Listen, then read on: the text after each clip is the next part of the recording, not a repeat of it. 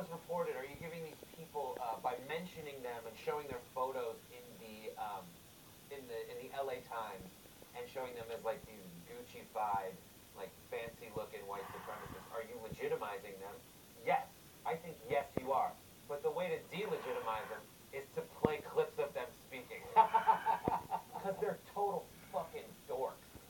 They're dork, dorky skinheads. Here's another video from dorky They skinheads. are dorky mainstream media, or perhaps we should refer to them in the original German, Lügenpresse. It's not just that they are leftists and cucks. It's not just that many are genuinely stupid. Indeed, one wonders if these people are people at all. Or instead soulless golems animated by some dark power to repeat whatever talking point John Oliver stated the night before. I don't want to say anything disparaging about this guy.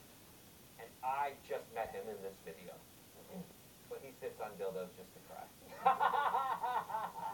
like that, and I and I'm not saying anything about his sexual proclivities. I think it's just something he does because the energy that I see from him on stage, that seems like the kind of person he is. And and I love when he says cuff because like he's just projecting the shit onto people. He, the fundamental underpinnings of white supremacy are we're you know we're awesome and we're cool, but you're also saying that like the other team seems to be doing better than us because we need to band together. If you're that awesome, why do you why do you need to push people down? Just be awesome. When, when are, when are white people gonna get their day in America? When, when does Whitey ascend to the top? When, when is Whitey, when, when is the glass for Whitey get crack cracked, right? That's what I'm waiting for. I'm getting so tired of all these Mexicans and blacks running things, uh, that it's about time white people got together finally and spoke up. You know, we're a really oppressed minority, especially male, especially male whiteys. I feel it. I feel it every day. And, uh, you know, it's, it's all I can do to not get pulled over. Uh, let's watch clips number four and five. Uh, just more. There's just more. America was, until this past generation, a white country, designed for ourselves and our posterity. It is our creation. It is our inheritance, and it belongs to us.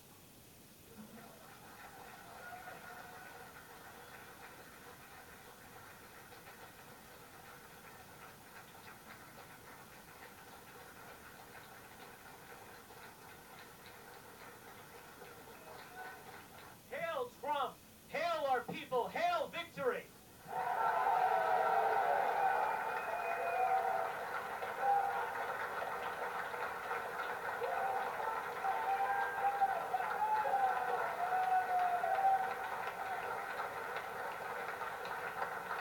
All right, let's. Funny. And then they're doing the. You might have noticed the um, the, the, the, distant similarities. It's hard to trace the Heil uh, victory